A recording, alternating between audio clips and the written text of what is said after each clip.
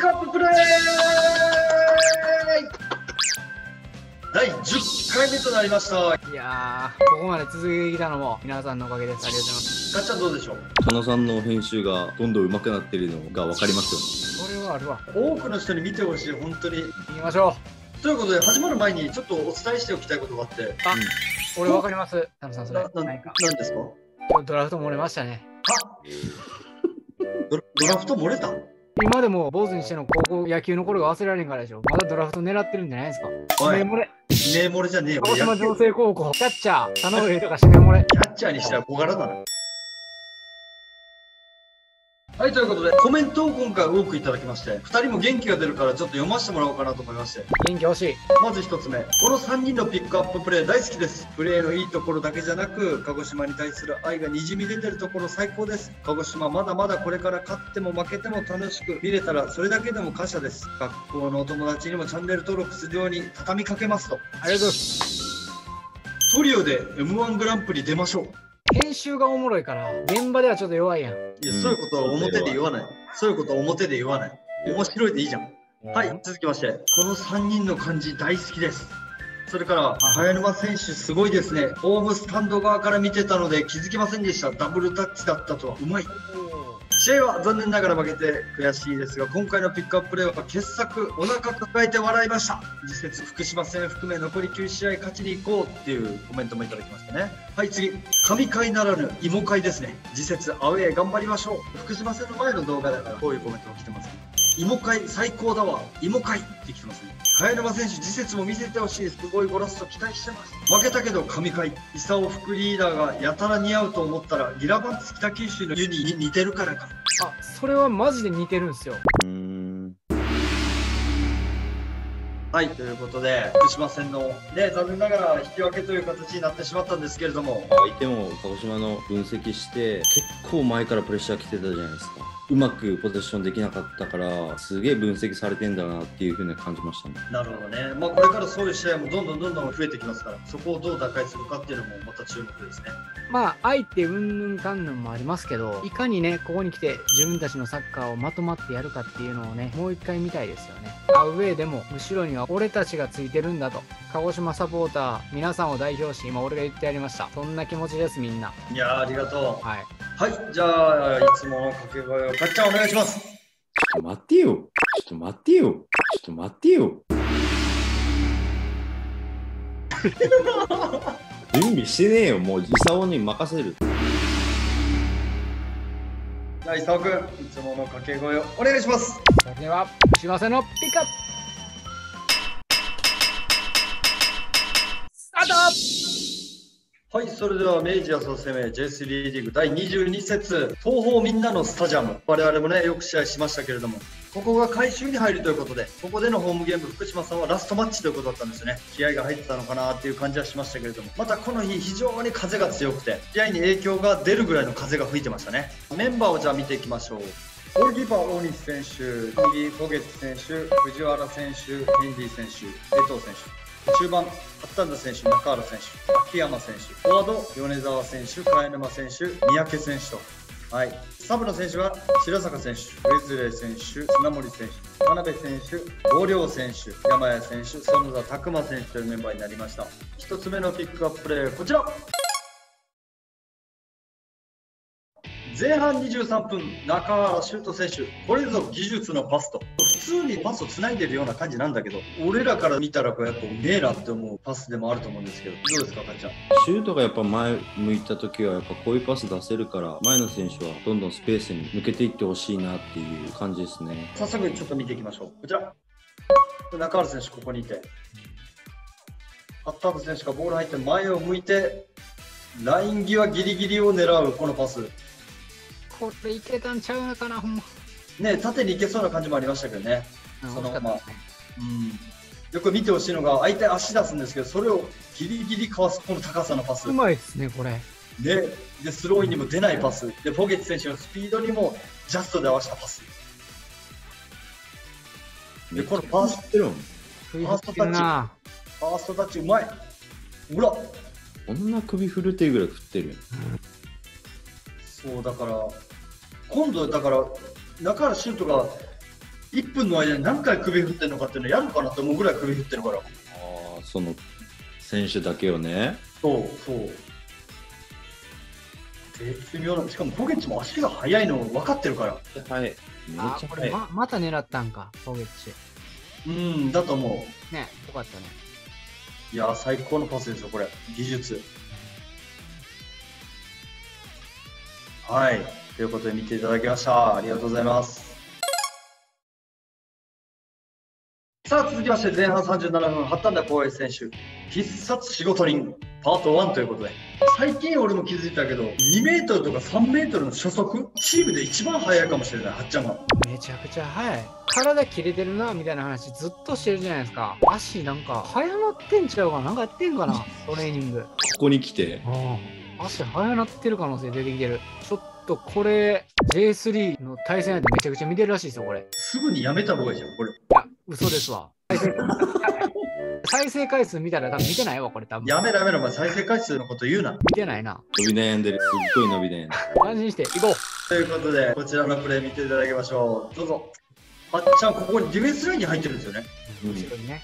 でもこう、あ匂いがする、仕事人の匂い、シャキーンっていう、この、出てくるんですよね、ここに。入れ方とかうまいよね。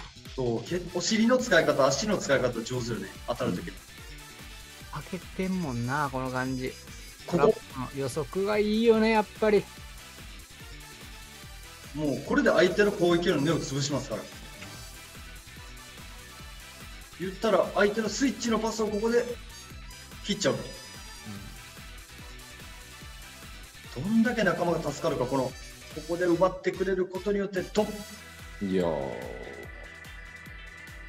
これでも別に、この相手も別にトラップミスした感じないのにね。はい。イメージ通りのとこに置いたんだろうけどさ。うん。誘い込んだ感じだね。ねタッチに気づいてないもん。そうなんよ。忍びよね。いやー、すげえな。前半41分、中原修斗選手、中原100%、技術プラス思いやりと、これ面白い題名になってますけど、ちゃんとしたプレーで。今これ音楽、キャリーパミュパミュの意味は、だだだんだん100%、だんだんだんだんだんだんだんだんだんみたいな流れてるんでしょ、今。クレヨンしんちゃんのやつね。これが信者のやつ。はいはいはい、流せません。流せません。キャリーパンパンにお願いしてみる。リーパミュパミュがなんか俺のツイート、毎週リツイートしてるような気すんねんな。え、下もっといくだろ、いいねがお前。じゃあしてないわ。でしょうね。厳しい、世間厳しい。社会厳しい。はい、このプレー、何を見てほしいって言ったら、何気ない一本のパスなんですけど、三宅海斗選手が走って上がっていくところにパスを出すんですけど、三宅選手のまずスピードを殺さないパス。で、さらにパスで終わるだけじゃなくて、ハーフウェイラインの後ろにいたはずの中原選手が、もう怒涛のスプリントをかましてくるわけですよ。オーバーラップね。うん、こちらになります。どうぞ。ここでボール受けます。中原選手。ダイレクト。うん、正確。もうここっていう場所ですよね。結構距離あるよ、これ。あ、いや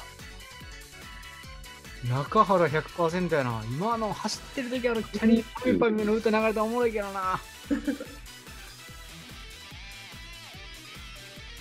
ここで、ここで相手が来るわけですよ。そしたら隣から、いやこれけど、宮城君もいいチャレンジですよね、このシュート。うん、すごくね。今、めちゃくちゃ必要ちゃうかなと思いますわ。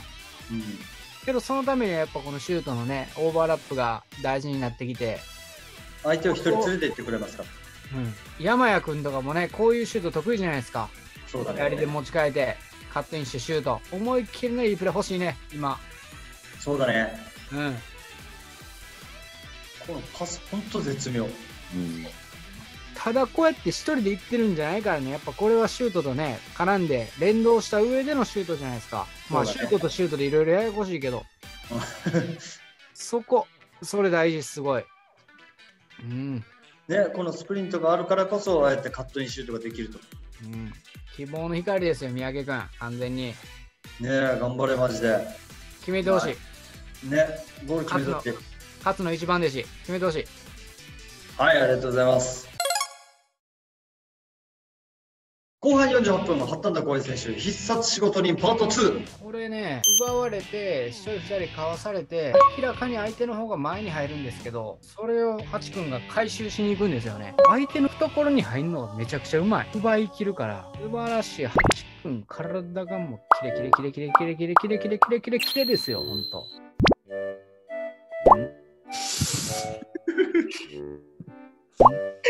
お前ずるいそれ。なんかった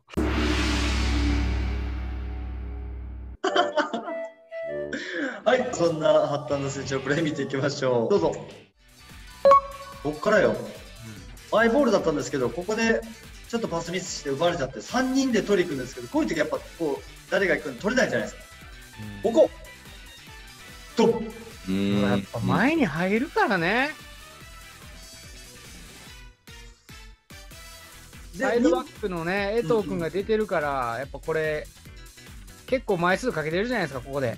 ね、3枚いるからね、鹿児島。はい。しかも、ハチ君、そっからやからね、同列のとこから行ってるからね。なんなら相手より後ろから行ってるから。うん、後ろ、後ろ。すげえぜ。内側パス出されてても多分ハチ君回収できてたよね、これ。そうそれも見越してあのポジションだった。縦に行って、これ内側出して、カヤも内側出すかなと思ったから、ちょっと内側切ってもうたもんね。早い。この別角度のカメラで見てください。わかりやすいから。ドン。いやー強いって、ハチ君。これはすごいよ、マジで。ね全然ブレないから当てられてるのに。相手だってこれ3、最初、江藤君のやつとレイノの対談めちゃめちゃ強かったやん、相手。強い。これもう、そんなに負けへんから、ハチ君は。ナイスハチ今回も。ねえ、ナイス8。じゃあ最後もう一回見ていただきましょう。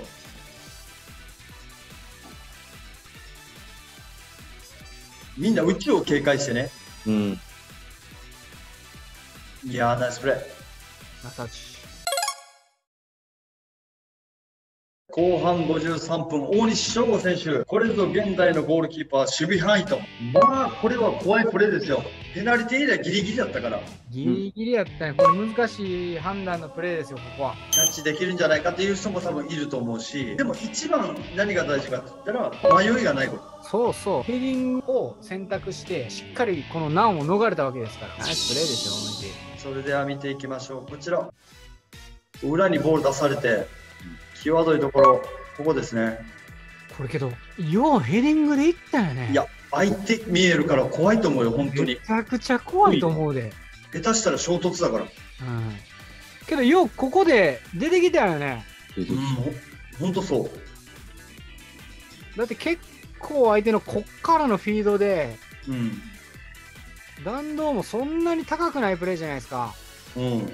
それをもこれだって出てこなかったら多分通ってるよね。う、とうん多分トラップされてるね。ねえ、もうこれ多分1対1だよね。か、中途半端に出ちゃうと、ちょ PK で。んってされて、ループみたいな感じでやられてる。多分相手、大西のこと見えたからちょっと避けたよね、これ。いや、それはある。うん。大西なんか最後ちょっと避けてる感じあるもんね。ナイスキーパーイスキーだね。きまして、後半79分、秋山選手、これは騙されるわっていうプレーなんですけども、これはうまいっすよ。自分が現役時代、逆に騙される側だった、このフェイントに。相当俺は騙される側の人間だ。いやいや、そんなん一緒にせんといてくれよ。俺5個上だぞ、お前のお前。5個も上なん、田野さん。36よ、俺。体張ってんな。ほんまに体張ってる。5個、4個下の後輩に毎週、毎週いじられて。はい、じゃあいきます。このプレーは本当にセンスの塊だなっていうプレー。しかもこれ、同点に追いつかれた直後のキックオフ後のプレーなの、これ実は。失点してマイボールのキックオフで慌てたりするじゃん。それも感じさせないようなプレー。じゃあ見ていきましょう。こちら、キックオフして、ここから、うまい。突で。なんかやっぱ堂々としてるよね。おお。ねアウトサイドで1回で前を向けるっていうね。うまい。マジでうまい、これ。あうまうまいな切り返し深いない。いいな深いわぁ。わあ、これは深い。ぁ。キュッと。俺も騙される側だ、これ。これは騙されるでしょ。これはちょっと言ってまうな。でしょ、騙されないやついないでしょ？おらんわ。うわっていうわ、多分。顔されて。確かに。うまいね。あうまいね。ありがとうございます。次、ラストになります。後半81分、イオハオサム・ヘンリー選手。これぞスイッチ。このキックモーションでここっていうプレーなんですけど、ヘンリー君もそつなく全てのプレーこなすから、何気なく見えてしまうんだけど、結構キーになる人だなって俺は思ってて、チームの中で。これは縦パスを入れるシーンなんですけど、裏に大きくポンって浮いたボールを蹴るのかなって思うような、こう、大振りのキックモーションで、間をグラウンダーでトンっていいパスをつけるシーンなんで技術が高いよね、やっぱり。高い。持ち方もうまいし、クリアもつなぐじゃないですか。そうそうそう。センターバックで左利きっていうのはやっぱ武器やわ。武器だね。じゃあ見ていきましょうか。こちらです。どうぞ。これ砂森選手からバックパス、ここにいますね。トラップして、このパス。おお。手が早いね。足の。これ大きかったな。ね、これ結局ここまで行くんですよ。うん。これ裏狙うのかなと見せかけるような大振りで、ここ。確かに、このパススピードもね、あるもんね、これ。だから相手がプレッシャー感じてないんですよ。来てないんですよ。この受ける相手、仲間に。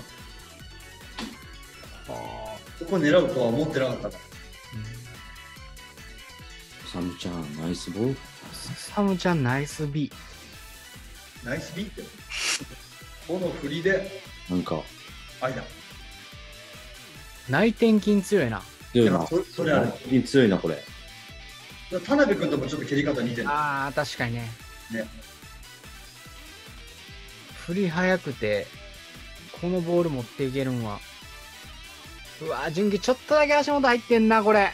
トラップがね、足元入っちゃったね。ちょっとだけ足元入ってん。もうちょい前やったらもう、純ちゃんフィーバータイムやったのに。純ちゃんフィーバータイム。JFP。ね。だってやめろ、頭悪いのバレるぞ。はい、ということで、ね、ピックアップは以上となりました。今回の試合を振り返ってみてどうですか？まあ、前半いい形で点取れたじゃないですか、クロスから。やっぱ、ああいうところにシュートとか、ボランティア選手が入っていくのって、やっぱチャンスになるんで、どんどんまあ、これから、ああいうシーンは増やしていってほしいんですけど、まあ、ちょっと厳しい言い方をすると、ミスが結構やっぱ目立ったかなっていう、まあ、相手のプレッシャーはもちろんすごい速くて、いつもの鹿児島のポゼッションサッカーっていうのをちょっと封じられた感はあったんですけど、この前も言ったんですけど、相手も死に物狂いで来るし、それを分かった上で、自分たちをサッカーを貫き通していくために、ピッチの中でしか選手は表現できないから、そこは本当、責任感じゃないけど、1-0で勝ってて、相手のスーパーゴールだったけど、あれをブロックできる選手が1人でもいたら勝ちに持ってこれるし、そういう本当一つ一つのプレーを大事にしていかないと、勝ち点3っていうものは手に入らないのかなっていうふうに、まあ率直に思いましたね。なんか勝がこんだけこう熱く語るって珍しいね。やっぱね、悔しいよ。実際そのピッチでやれてるのと見てるのって全然違うわけじゃん。それは俺らはやっぱ分かってるからさ。その中にいろんなプレッシャーがあるだろうから大変なんだよ、選手はやっぱり。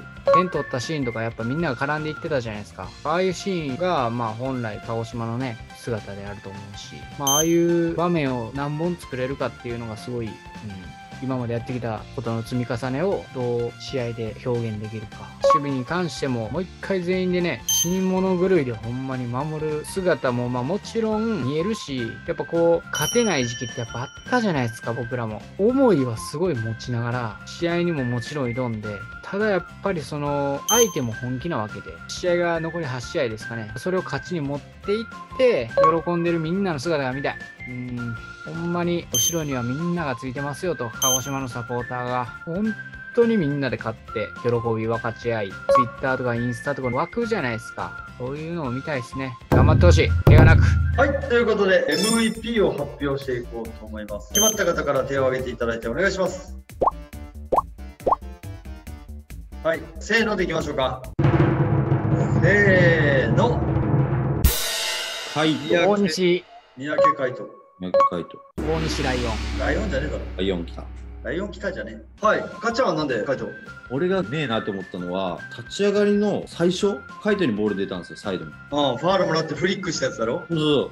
久しぶりに試合出てこれやっちゃうんだみたいな。やっぱうめえなって思ったし、1対1がなった時に絶対仕掛けるじゃないですか。あれってディフェンスからしたらマジで嫌じゃないですか。俺らディフェンスだったらあれと思うめちゃ。くちゃ嫌。個で剥がして決定的な仕事できるのはもうカイトがやってくれるんじゃないかってまあ期待も込めてですけどカイトかなっていうふうに思いました。久々にこうやっぱりピッチに立ってサッカーとか1対1とか楽しんでる姿を久々に見れてもっとなんか見たいなっていう感じが純粋にしたなっていうのとやっぱりこう自分の色っていうのをやっぱり出せる選手で全員こう選手は期待するけど中でもよりもっとこう見たいなと思った選手の一人でしたね。以上大西君？ダゾーン越しでも聞こえるコーチング、ずっと叫んでるじゃないですか。ポジション修正もそうですし、鼓舞する声もそうやし、こういうきつい時ってやっぱああいう声出せる選手ってやっぱ貴重なんですよね。自分もきついじゃないですか、正直。それでもやっぱああいう責任感のあるプレーですごい大事かなと思いましたけど、まあ今回はちょっと三宅くんにしましょう。あっさりけどほんまに宮城君が持ったらちょっとワクワクしたし自分が仕掛けてっていう姿勢がすごい見えるじゃないですかそれ今鹿児島にす構必要なんじゃないかなと思いましたね。前の選手はさ仕掛けて取られてもさ取り返してまた決めればいい話だもん。どんどん仕掛けてほしいよねみんなね。大丈夫。仲間を信じて1人のミスはみんなで本当カバーして大丈夫俺らがいるからぐらいのこうドンとした感じでね11人いるのがサッカーだから。11人で1つのこうチームを作り出してっていう。18人ベンチも含めてメンバー外も含めて全員でこう大丈夫っていう雰囲気を作ってあげればねよりこうまとまっていくとも思うし期待ですね。はいということで今回の MVP は三宅海人選手に決定しました。ということで、次節は10月の17日日曜日13時キックオフで、アウェイ、宮崎にてテゲバジャロとの対戦となります。優秀ダービー。いやー熱いね。2位には負けられへん。もちろん下にも負けられへん。同じような順位のチームに負けられへん。こっからはもう全部負けられへんから。あとはもう後押しだけですよ、うん、何？何ちょっとしゃくれてんの。しゃくれさせて。さっきよりしゃくれたんじゃないかな。はい、ということで、節もみんなで一緒に熱く一つになって応援しましょう。鹿児島の良さはチームワークですから。あって喜びましょうそして、チャンネル登録ぜひしてください、皆さん。そして、たくさんのコメントお待ちしております。我々しっかり読んでますんでね、すごく励みになりますし、また次頑張ろうって思う原動力になるので、チャンネル登録、グッドボタン、それからコメントお待ちしております。コメントあまりがたいですねコメントしてくれたらたそうだね、ぜひぜひお待ちしております。ということで、次回の動画で会いましょう。ありがとうございました。